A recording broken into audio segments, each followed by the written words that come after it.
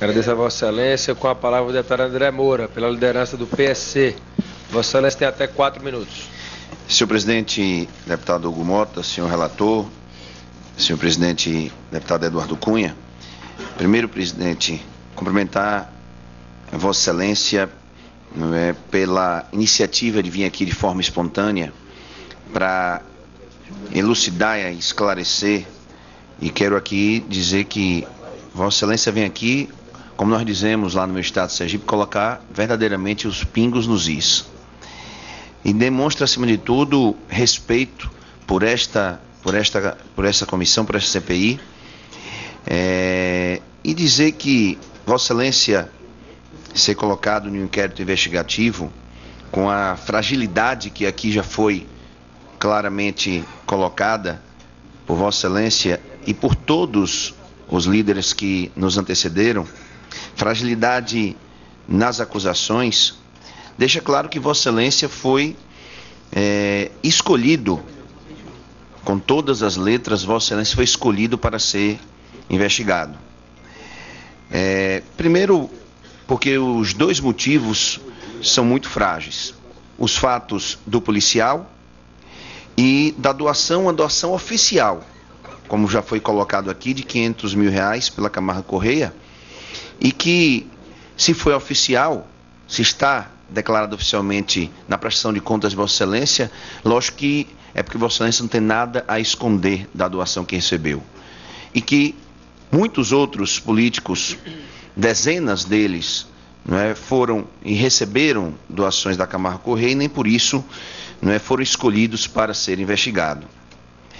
É, a doação premiada do Roberto Youssef, do Júlio Camargo, é, é doação para vários políticos, a delação, melhor, premiada, é, o Paulo Roberto Costa, quando diz que, salvo engano, isso mostra claramente a fragilidade.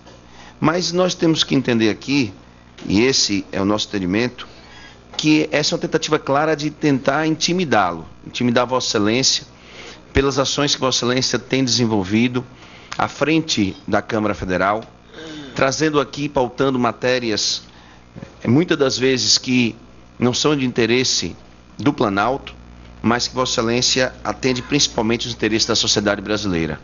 Vossa Excelência tem na condução da presidência desta casa colocado em prática aquilo que Vossa Excelência disse durante toda a sua campanha que iria agir com independência, não fazendo oposição, mas que aqui também não seria não é, um puxadinho do Planalto.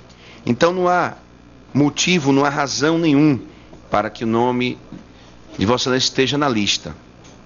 E fica aqui, e eu não tenho dúvida que muito em breve, em muito em breve, isso vai ficar claro, que Vossa Excelência não, não deveria estar nessa lista, fica aqui a pergunta da reparação. Da reparação. Quem será, quem fará a reparação? Não é de ter colocado Vossa Excelência numa berlinda dessa? O Ministério Público, o procurador, o senhor Janot, porque nós não podemos permitir que esse verdadeiro mar de sujo, de corrupção, esta lama, ele atravesse a rua e venha para esta casa. Ele não nasceu aqui, nós não somos responsáveis, não podemos permitir isso.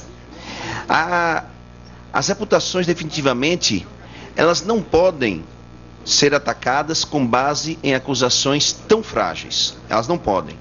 E Vossa Excelência tem demonstrado aqui claramente com a sua posição a aversão, a aversão total, a dúvida e a incerteza, quando vem aqui esclarecer e se colocar à disposição para aqui ser ouvido.